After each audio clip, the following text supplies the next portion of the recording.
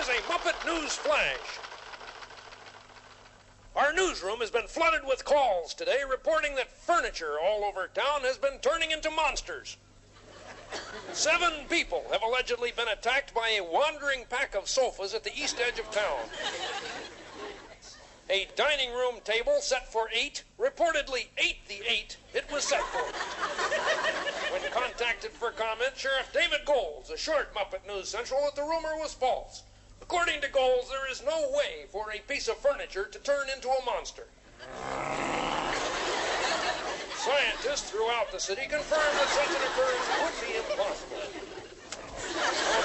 Common tells one that inanimate objects cannot turn into monsters. Still, these problems will persist. The mass hysteria could be due to what psychologists are calling chronophobia, a dread fear of the rising prices of home furnishings. The phenomenon does seem to relate to the cost of living increase during the past month. But people are advised to relax, secure in the knowledge that their furniture will not turn into a monster.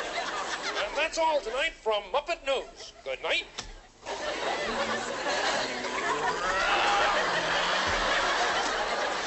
Well, that last item about furniture is ridiculous.